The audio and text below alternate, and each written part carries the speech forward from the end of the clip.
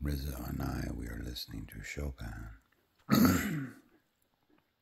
because I sat so far back from the chair. She obviously decided this is where she belongs. This is where she sits most of the time anyway. When I would read late at night, this is where I have to do my reading with her right there. This is why she likes her crate.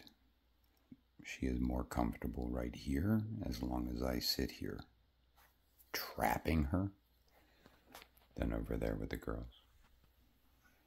This is her like the only place that she's happy in this entire house, but it requires me just sitting here for as long as it takes for her to be comfortable. So I make excuses sometimes.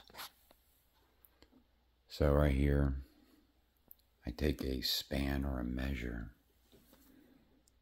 Juggling this. I don't want to cut myself. Pardon the camera. I'm wrapping it several times around my hand until I have an amount that is measured by the amount of times I've wrapped it around my hand. And I'm going to cut it in strands of three, melting it by candle. Each of those three will come out and be woven in a very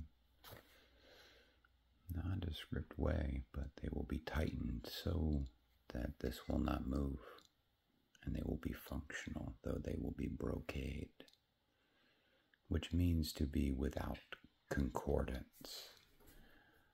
That which is intentionally tussled. To be brocade is to be like a horse's mane.